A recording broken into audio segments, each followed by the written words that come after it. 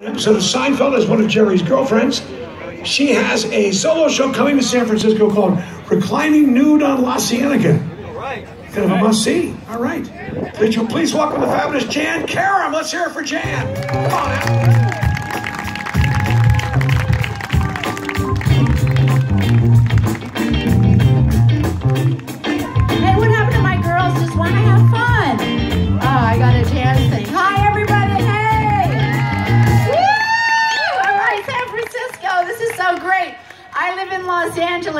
Just such a treat to be in a public park with so many people gathered, with people gathered all together who aren't homeless. It's awesome, unbelievable. I can't believe I'm in shock.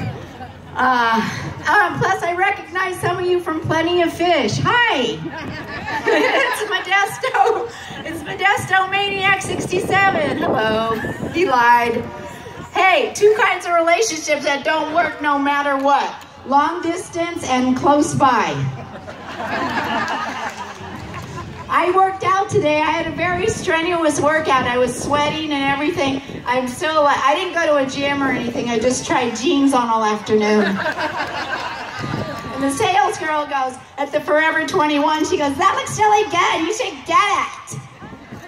And then her, her uh, coworker comes out, yeah, you should totally get it. And they're all going, get it, get it, get it. There's always one manager, gay manager that works there. He goes, don't get it. And I was trying on a bathing suit, and I look out, and I, am like, look in the mirror. I'm like, oh God, I can't buy this bathing suit. This is looks terrible.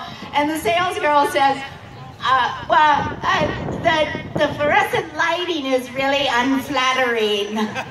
like the sun's gonna be dimmer.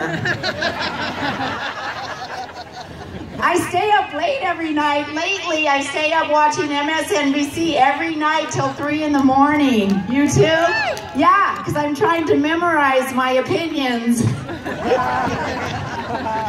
People say whatever you want, you have to visualize it. Have you, like Oprah and Deepak Chopra, they say whatever it is that you want, you have to visualize it. You want a big house, a lot of money.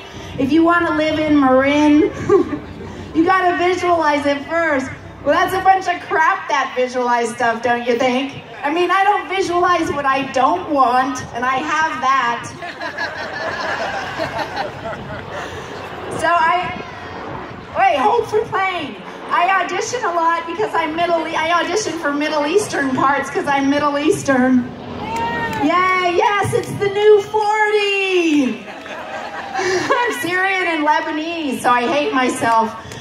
But, um, Hispanic people, they don't want to play the part of a janitor or a maid, you know, in movies and TV because it's demeaning. It's a negative stereotype. But I would gladly take those roles because I'm tired of auditioning for the sympathetic wife of a terrorist. But he's a good provider. Please don't take my husband. I know he is ISIS leader, but he has a good heart. He has a very good, his sweetheart. He's where you go, don't deck. Why you deck, don't deck. Okay, deck. I don't like anyway. Yalla Thank you. I learned that from my mother.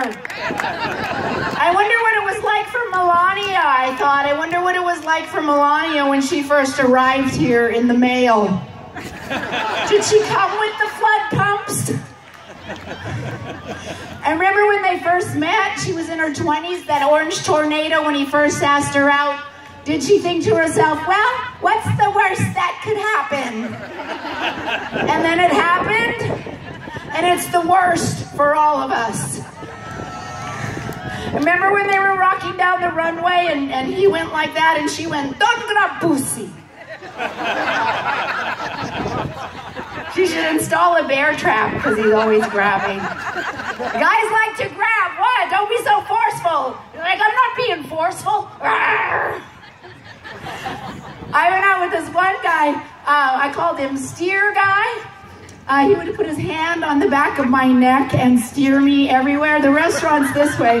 The car's over here. Okay, we're going to my place now. Like, stop steering me. He has a new girlfriend now. They're much more suited for each other. She's in a wheelchair. hey, but I would date an ISIS leader, I would, and think that I could change him. An ISIS leader, I could change him. I don't care if his beliefs are entrenched in centuries of religious fanaticism. I am not breaking up with him until I get him to wear a tie. All my friends are like, Jann, I can't believe you're going out with Ahmed Malakhalakha. He's crazy. You no, you just didn't know him.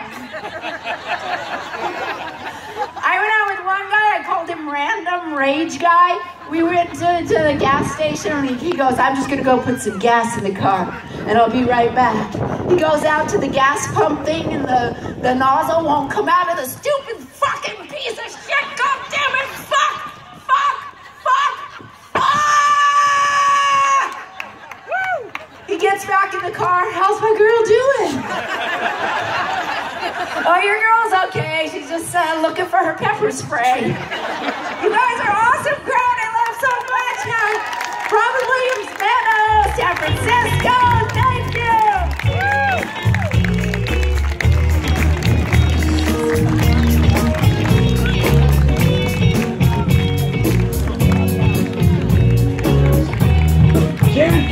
Everybody.